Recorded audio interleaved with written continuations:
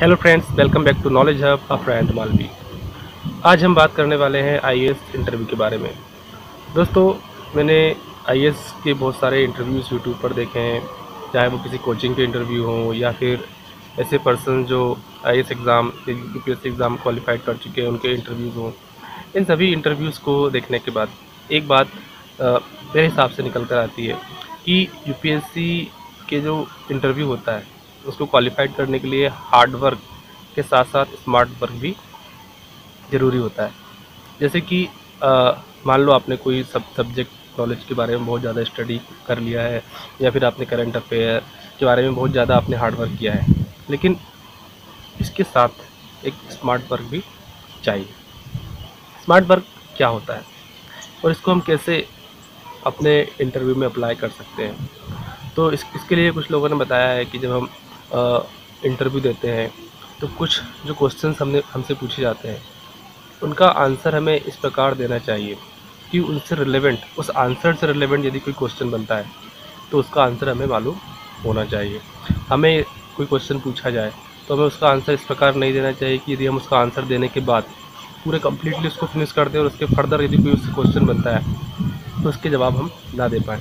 इसलिए हमें कोई भी क्वेश्चन का जो आंसर है, वो इस प्रकार से देना चाहिए कि हम यदि हमसे उस आंसर में से कोई क्वेश्चन पूछा जाए। जनरली क्या होता है हमने आ, अपने स्कूल्स में भी देखा है या बाइबा वगैरह में भी देखा है जब कोई क्वेश्चन का हम आंसर देते हैं तो उस आंसर से ही कोई नया क्वेश्चन बन जाता है। इसलिए जब भी आप किसी क्वेश्चन का आंसर दें तो एक चीज़ ध्यान में रखें कि आंसर इस प्रकार से दें कि आप उसमें से कोई क्वेश्चन बने तो सही तरीके से उसका भी आंसर दे पाएँ। मतलब एक तरीके से अपने आप को बचाना है, ठीक है ना? ऐसा नहीं कि आप खुद के ही आंसर में खुद फंस जाएँ, ठीक है?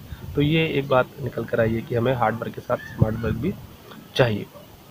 एक और चीज़ मैंने देखी है कि जनरली जब हम कोई क्वेश्चन का आंसर दे रहे हैं तो उन लोगों ने बताया कि जब कोई किसी क्वेश्चन का आंसर हम देते हैं तो ऐसा नहीं होना चाहिए कि एक हमने जो आंसर दे दे रहे हैं, वो रटा रटाया है।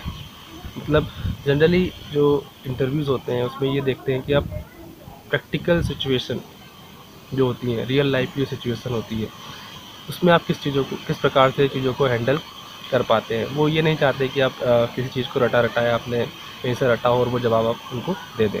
प्रैक्टिकली वो देखना चाहते हैं मतलब किसी भी जो क्वेश्चन आपसे पूछा जाएगा उसका वो प्रैक्टिकल आंसर आपसे चाहते हैं ना कि एक रटा रटाया आंसर ठीक है? तो आपको वहाँ पर प्रैक्टिकली क्वेश्चन का आंसर देना है। आपसे यदि प्रैक्टिकली पूछा जाए तो है ना? ऐसा नहीं कि आपसे फैक्ट के बारे में पूछा जाए और आप वहाँ प्रैक्टिकल एग्ज़ाम्पल दें। जो फैक्ट होते हैं, वो तो फैक्ट होते ही है। उनको आप चेंज नहीं कर सकते। यदि कोई रियल लाइफ एग्ज़ाम्पल तो वहाँ पर क्या होता है? आपको प्रैक्टिकली एक्सप्लेन करने की आवश्यकता होती है। क्योंकि जो सिविल सर्विस एग्ज़ाम होते हैं आईएएस के एग्ज़ाम होते हैं, क्योंकि आप, आपको पब्लिक में जाके डील करनी होती है।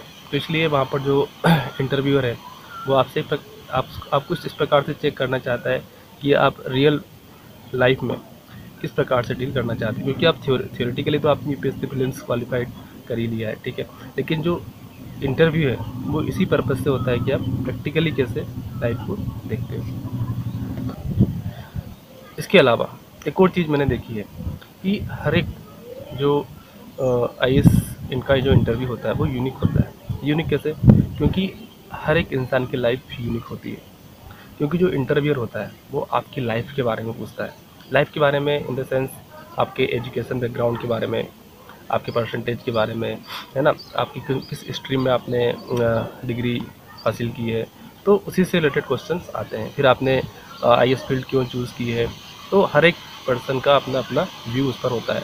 तो मैं तो यहाँ तक कहना चाहूँगा कि जो आई के इंटरव्यूज़ होते हैं, वो यूनिक होते हैं। इसलिए हमें जो कोई भी आई इंटरव्यू का इंटरव्यू क्वालिफाइड करता है, उसको फॉलो करने के बजाय हमें अपने आप को ही गहराई से देखना चाहिए। यदि हम अपने आप को समझ गए तो एक हद तक हम इंटरव्यू में बेहतर तैयारी कर पाएँगे।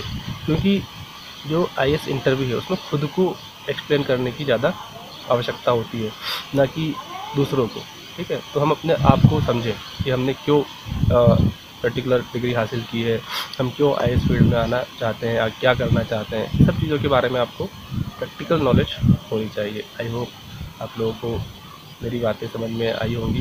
यदि कोई बात आपको ऐसा लगे, आपको समझ में नहीं आई है तो आप कमेंट बॉक्स में लिखकर हमसे पूछ सकते हैं। तो आज के वीडियो में इतना ही। Thank you for watching